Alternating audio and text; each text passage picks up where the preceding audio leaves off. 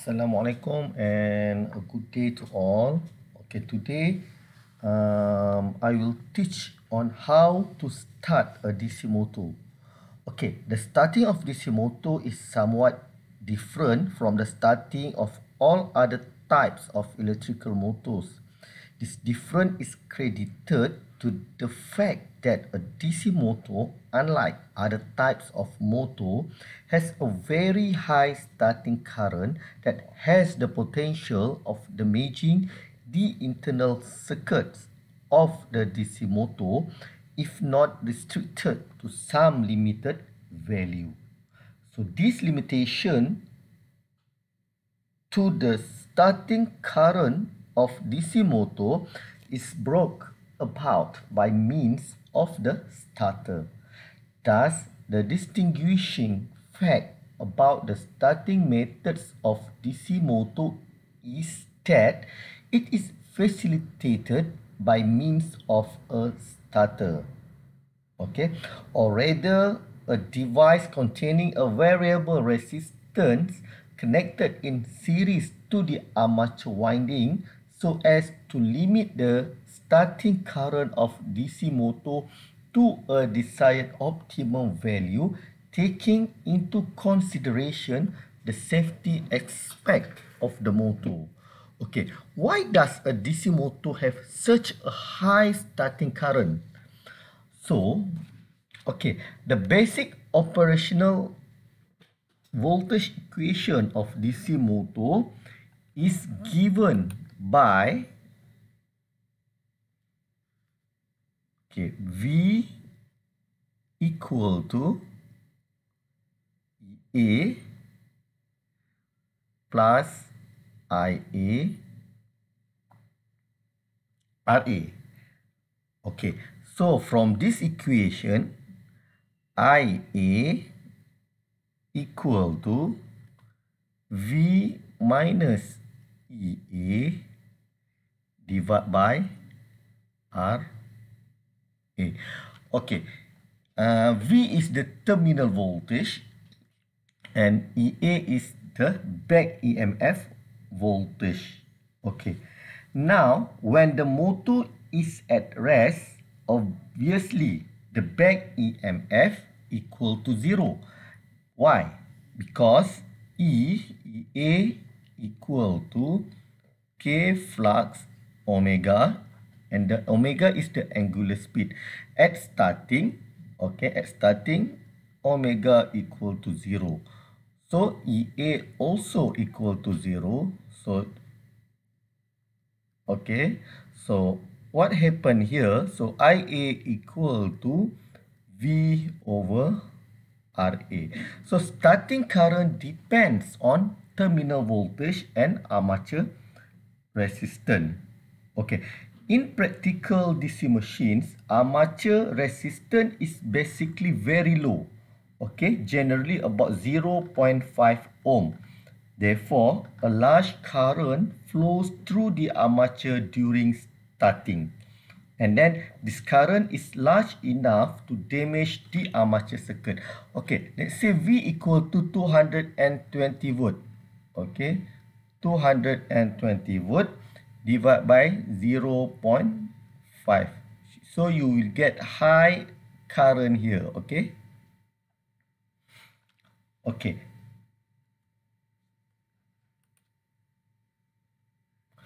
Okay due to this excessive starting current the fuses may blow out and the armature winding or commutator brush arrangement may get damaged and the very high starting torque will be produced.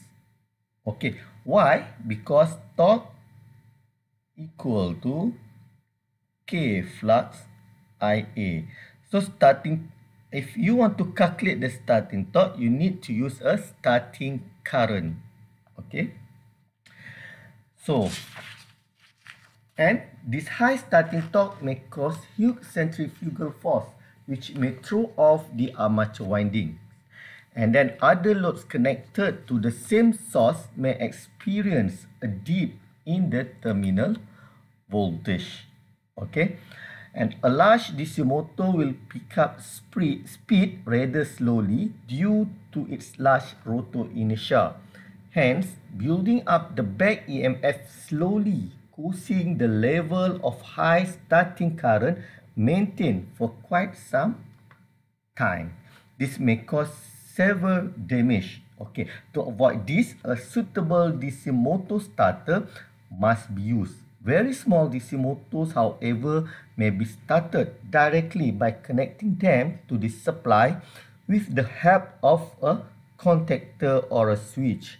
And it does not result in any harm because the gather speed quickly due to small rotor inertia.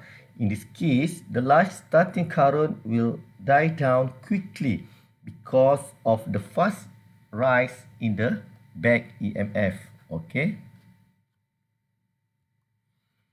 Okay, to avoid the above dangers while starting a DC motor, it is necessary to limit the starting current. So, a DC motor is started by using a starter. Okay, so the starter is used to limit the starting current.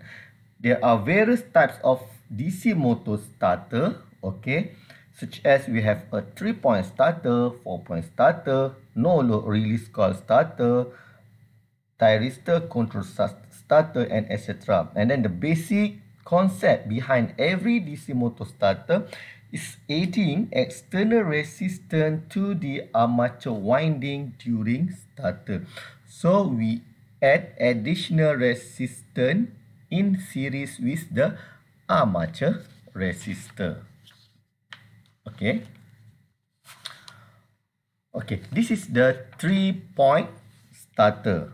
Okay, the internal wiring of a three-point starter is shown in this figure. Okay, when the connected DC motor is to be started, the lever is turned gradually. Okay, this is the lever. So the lever is turned gradually to the right okay from left to the right when the lever touch point one okay this is the point one the field winding gets directly connected across the supply and the armature winding gets connected with resistances R1 to R5 in series. We have a R1, R2, R3 and R, R4 and R5 connected in series. And during starting, full resistance is added in series with the armature circuit.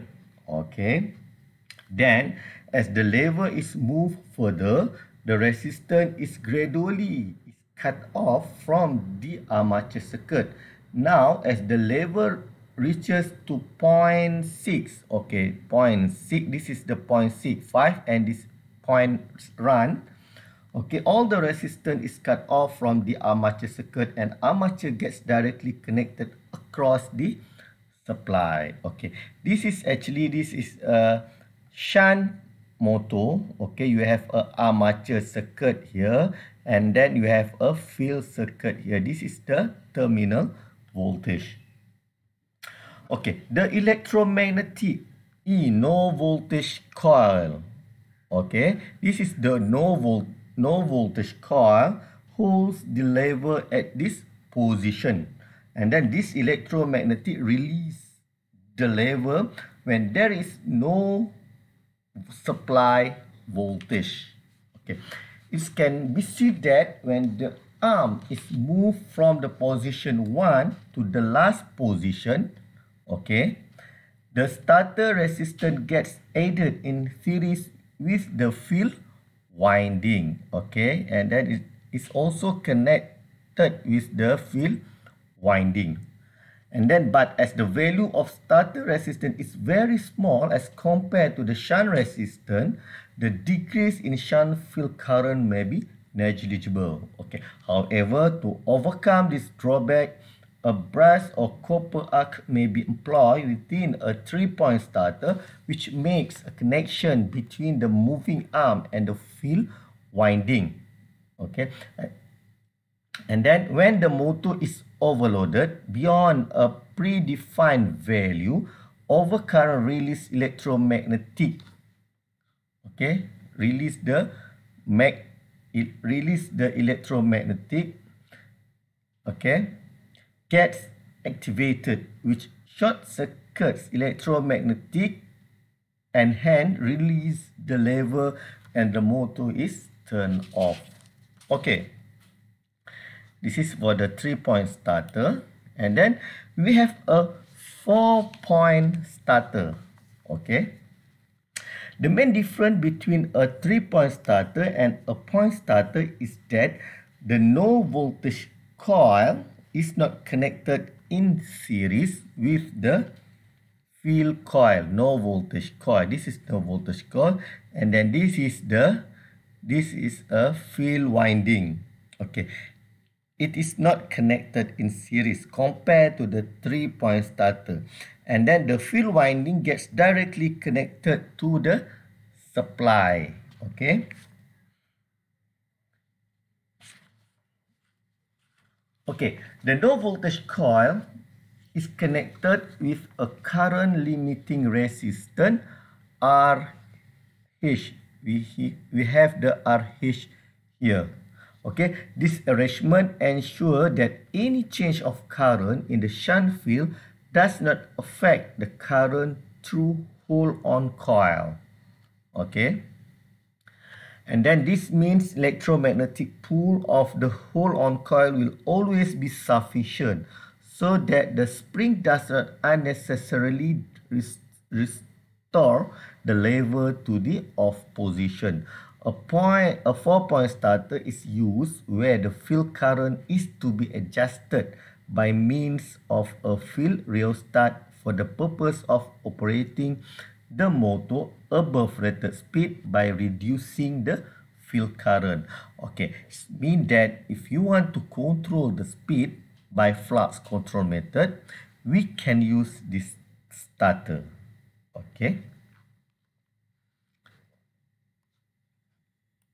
Okay, next we have a thyristor motor starter. Means that we control the armature current by this chopper. Okay, we connect we connect the terminal terminal of the um, DC motor with the armature chopper.